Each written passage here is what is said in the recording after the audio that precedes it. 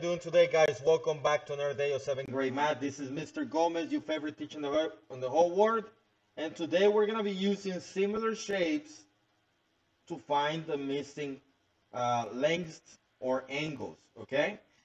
So on the previous video that we talked about, uh, just finding the proportionality of the similar shapes. In this case, we're going to use that, what we know, to actually find, use proportions to find missing lengths or angles. We're going to find the unknowns.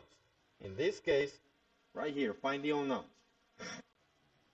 So all of this is pretty nice and uh, pretty, know that, but it says, if you know that two figures are similar, you can use the proportions to find unknown lengths of sides as well as unknown angle measurements. And just a little feedback on this. Anytime you have similar figures, it is given, understood that the angles of the corresponding side are going to be the same. The measures, the lengths are going to be different, but the angles always the same. So for instance, if I were to do the tick marks to label this, this is the small one and the big one. This is going to be number one, two, and three. So number one, two, and three. So the lengths are different, but the angles are going to be the same. So for the angles, instead of doing tick marks, I'm going to do something very similar. So this is going to be 1, 2, and 3. So I'm going to do the same thing for the other one. 1, 2, and 3. So with this, I can find the missing angles. For example, x is going to be corresponding to the 35. So x equals 35 degrees. And if I'm looking for angle B, this one right here is going to be 90. And C is going to be 55. The angles are easy to find on similar shapes. Okay? They're always going to be the same. Now you got to be paying attention just in case they rotate them or flip the figures so that you can identify the, the tick marks. So now, we're gonna find the unknown measures. We're gonna they have us uh, to set up proportions. This is the same thing I'm doing big and small, and I like to stick with that because I think it's easier. So basically, what they're saying over here, what they are saying over here, this is UW. They're making that to be a line. Usually, you see a line on top of that or a segment. So basically, they're talking about for UW, they're talking about this line right there. For UV, they're talking about this line right there. Okay, that's what they're talking about. And that's the same thing as doing the tick marks. So if I were to do the tick marks on this one, I will do one, two, and three. And I do the same thing to the corresponding uh, figure. This is one, two, and three. Now this is the big one and the small one. So I'm just gonna stick to that because I think it's easier, easier for you to understand it. If you set it up like this, you will always get them right. So I'm gonna find the missing length, okay? That's what I'm trying to find in here. I'm trying to find X. There's two ways to do this. One is always going to work, the other one not always, okay? So you gotta pay attention. And the one that is always going to work is something that you might know as butterfly. Who remembers butterfly or cross products? Who remembers butterfly or cross products? Okay. I know you guys know it. So this is what we're going to do. To find a missing length, since these shapes are similar, they are proportional, you only need to know two things. So even though we label 1, 2, and 3, we only need 2. We only need two proportions to find the missing one.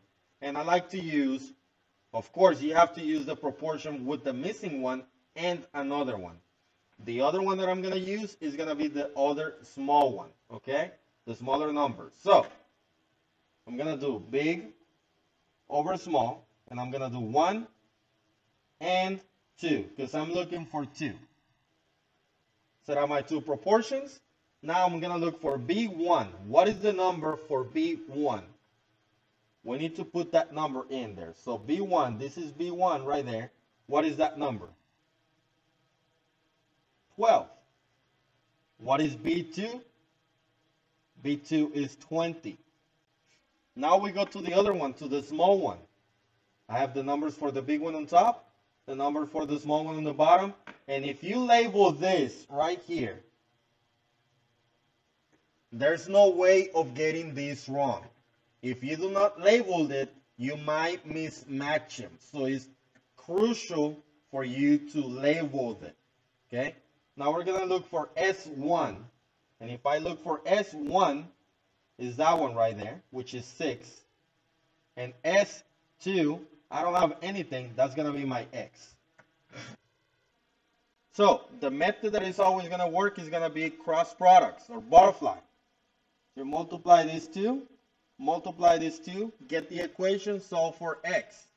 So you're going to have 12x equals 6 times 20 is 120.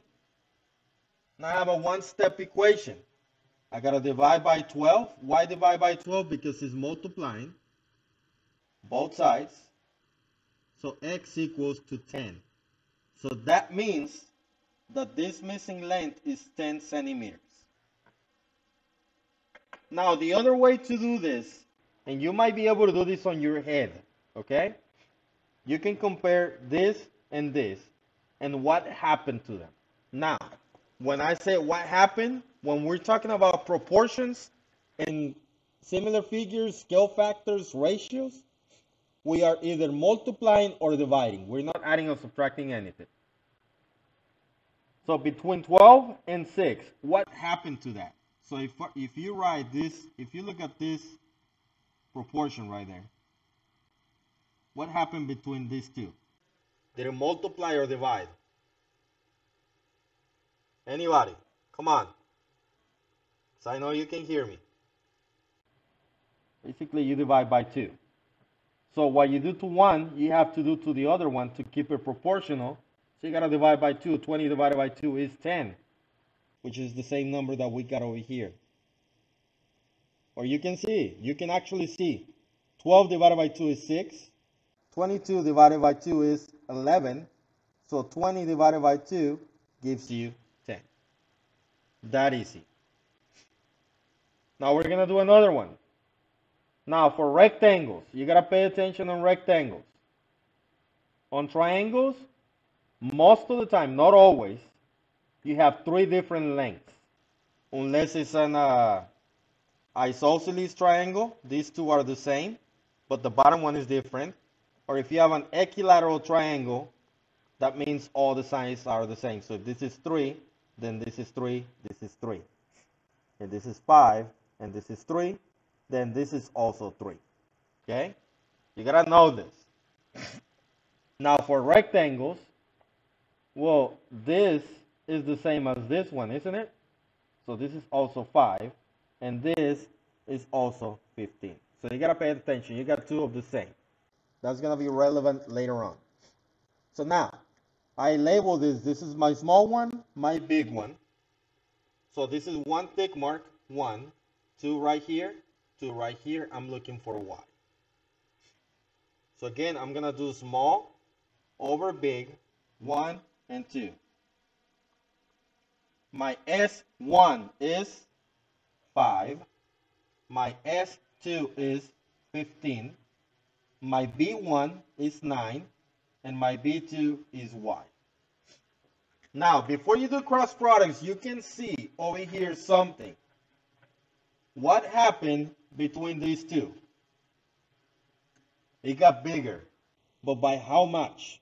So what happened to 5? 5 times what gives you 15? 5 times 3 gives you 15. So if you multiply the bottom times 3, you get 27. So this is 27 meters. Now, if you still don't know how to do this, you can always do butterfly, cross products. So 5 times y is just 5y. 9 times 15 is 135. divide by 5, y equals 27 meters. Either way is going to give you the same answer.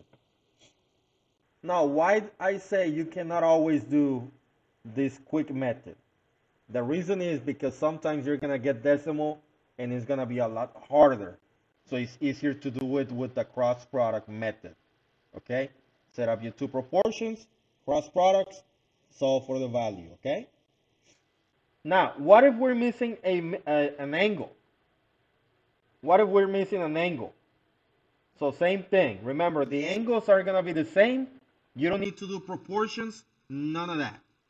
Now, you just got to be careful in case they flip or twist the figure or somehow. Okay? So, again, one, two, three. So this is one. The next bigger one is this one and then this one. So with my angles, I'm to do the same thing. So let's look for the smaller one, which is to be this one, and then this one, and then this one. Now, let's look at angle F. Angle F is going to be corresponding to the line that intersects between 3 and 2. See how they intersect right there? So it's going to be right there. So K equals 29 degrees. So angle G, you can say, is going to be the line that intersects in 3 and 1, which is going to be this one right there. So this is also 47 and 104. It's that easy. For angles, you don't have to do any math. All you have to do is find it. Now for this one, we're looking for angle S. And notice in this, this is a parallelogram or a, uh, yeah, parallelogram. So the opposites, they're the same. And then these two are the same. Just like when we talk about angles. Check that video up there, okay? Just like when we talked about angle, the opposite, like vertical lines. This is the same principle. So this angle is the same as this one. So these two go like that. So my angle S is 122 degrees.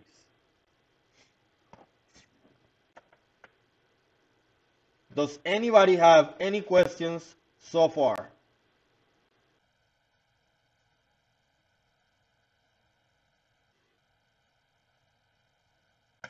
All right. That is it for today, guys. Don't forget to like, comment, share, and subscribe.